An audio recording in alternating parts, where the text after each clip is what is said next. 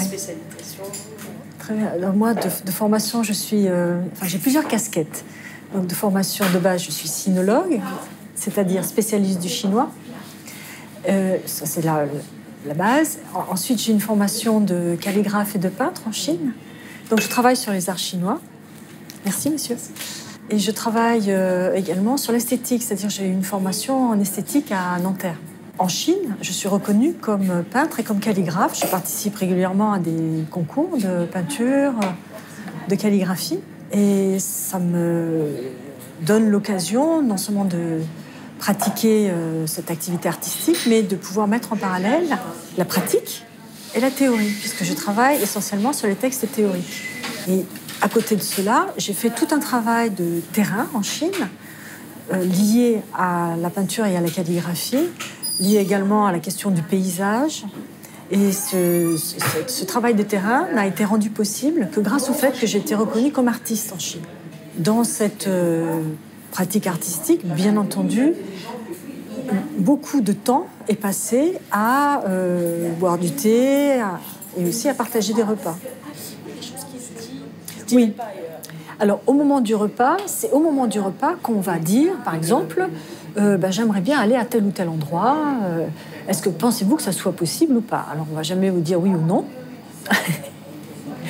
Mais on sait que c'est pendant les repas que les choses sont proposées et bien souvent, c'est à l'issue du repas que les choses sont décidées. Donc, les choses importantes se discutent pendant le repas. C'est pas en dehors du repas. Alors en Chine, la nourriture est quelque chose de très important parce que la nourriture n'est pas simplement de la nourriture.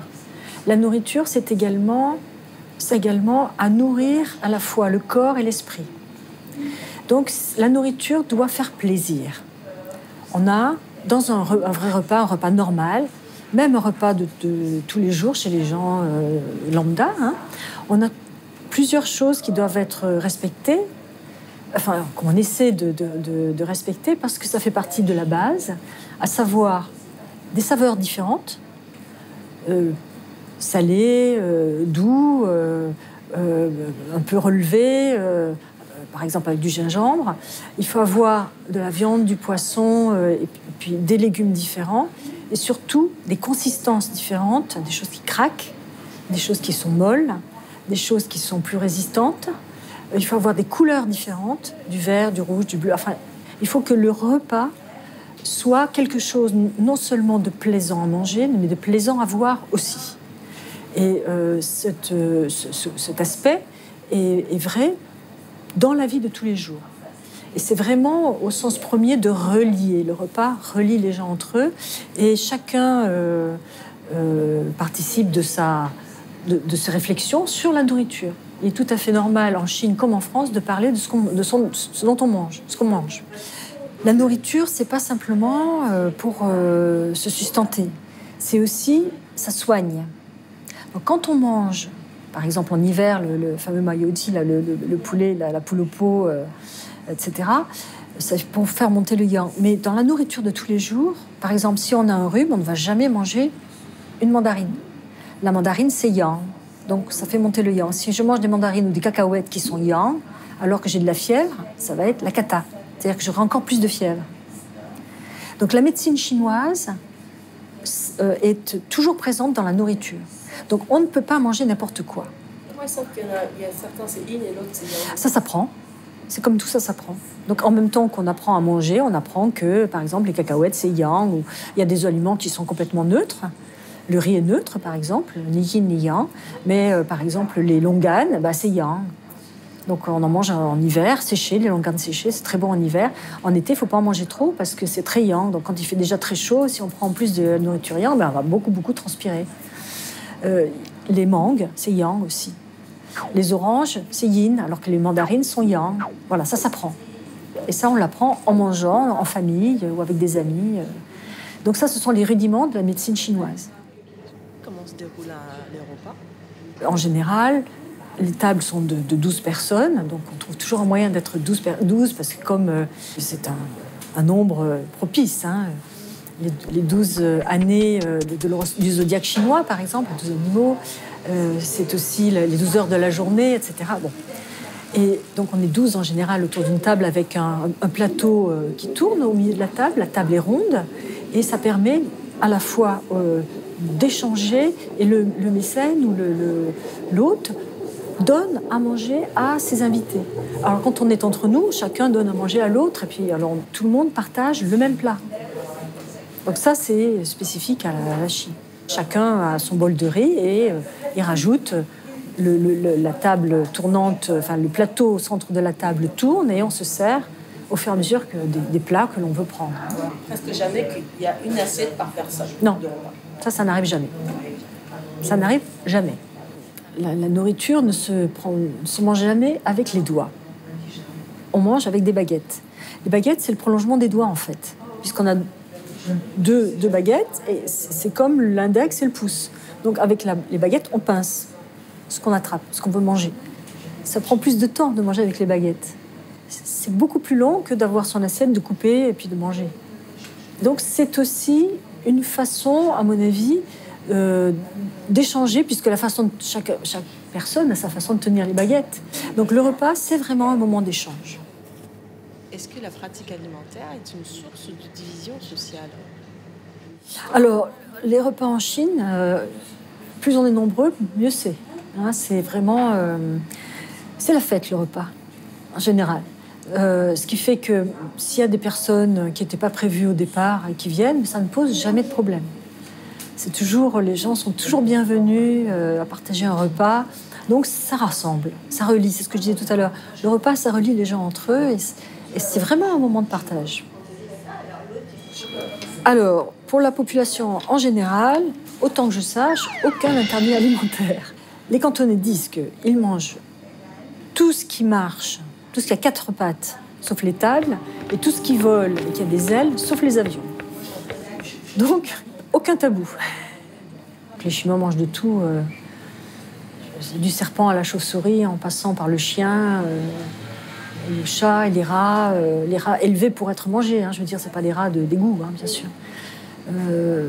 tout est mangeable. Ça fait partie de la culture. Donc moi, je ne sais pas juger une culture. Hein. Ce qui m'étonne, c'est les Européens ne mangent pas d'insectes. Alors qu'en Chine et en Asie du Sud-Est, on mange beaucoup d'insectes.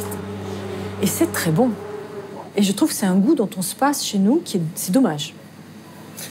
Et alors chez le bouddhisme, le taoïsme, comment alors, ça se passe? Chez les bouddhistes et chez les taoïstes, les choses sont différentes. Alors je ne parlerai pas tellement du bouddhisme parce que le bouddhisme vient d'ailleurs que la Chine. Donc ça vient d'Inde. Mais le taoïsme, c'est vraiment typiquement chinois. Ça a été d'abord une philosophie et c'est devenu une religion au tournant de notre ère. Cette philosophie est fondée sur l'absence d'action, c'est-à-dire sur le fait de ne pas agir sur les choses pour laisser les choses agir d'elles-mêmes. C'est-à-dire qu'on n'a pas besoin de pousser un nuage pour qu'il avance. De même que euh, on n'a pas, besoin d'agir sur euh, le mouvement de l'univers pour qu'il se fasse de lui-même. C'est dans ce principe-là. Et donc, dans le taoïsme, une fois que le taoïsme est devenu une religion, au tournant de notre ère, des préceptes ont accompagné euh, cette religion. Et le premier précepte, c'est évidemment de ne pas tuer. Donc on ne tue pas les animaux. On ne coupe pas les arbres. On ne, détruit pas euh, ce, qui existe. Donc il y a quantité de préceptes qui ont été mis en place pendant les premiers siècles de notre ère et qui explique bien qu'il ne faut pas intervenir sur la vie des êtres vivants. Donc on ne détruit pas les nids d'oiseaux, on ne mange pas les œufs des oiseaux, euh, on ne tue pas les, animaux pour les manger, on ne coupe pas les arbres pour brûler, et euh, on ne peut le faire que dans des limites extrêmement strictes. Ce qui fait qu'on mange, mais on mange essentiellement végétarien. Les bouddhistes donc on connaît les préceptes bouddhistes, hein, c'est euh, aussi d'être végétarien. Et en plus, les bouddhistes ont, eux, l'interdiction de manger après midi. Donc ils mangent à 11 heures. Donc de, midi jusqu'au lendemain matin, ils n'ont pas le droit de manger. C'est les, les, préceptes bouddhiques pour pouvoir pour euh, atteindre l'ascétisme, l'éveil, pour faciliter la méditation. Donc ça, ce sont les, les préceptes bouddhistes. Et ce qu'il y a de drôle en Chine, c'est qu'ils ont droit à un bol de thé en fin de journée pour ne pas s'endormir la nuit, parce que la nuit, il faut continuer à réciter des sutras. Et le bol de thé, dans certaines régions de Chine, c'est devenu un bol de riz, en fait. Mais sinon, euh, le taoïsme a été interdit pendant très très longtemps et il n'a été réautorisé que depuis euh, la fin des années 90. Il y a des religions où l'interdit alimentaire est très pratiqué. Or, en Chine, l'influence des religions ne semble pas être si stricte. Oui. On peut très bien être bouddhiste sans pratiquer nécessairement le, le végétarisme. C'est pas obligatoire. ce sont les moines qui pratiquent le végétarisme, ce sont les gens qui vivent dans les monastères. Mais euh, sinon, pour les autres, euh, c'est pas du tout obligé. Et ce dont il faut se rendre compte, c'est que les Chinois mangent en fait très peu de viande. Dans les plats, la quantité de viande, elle est minime. C'est-à-dire un tout petit peu, il y, a, un tout petit peu de viande ou un tout petit peu de poisson, mais c'est surtout les légumes et puis le riz qui, font la base de la nourriture. La, nourriture à l'occidental avec beaucoup de viande, c'est quand même assez récent. Et donc je ne dirais pas que cet héritage du végétarianisme soit complètement absent.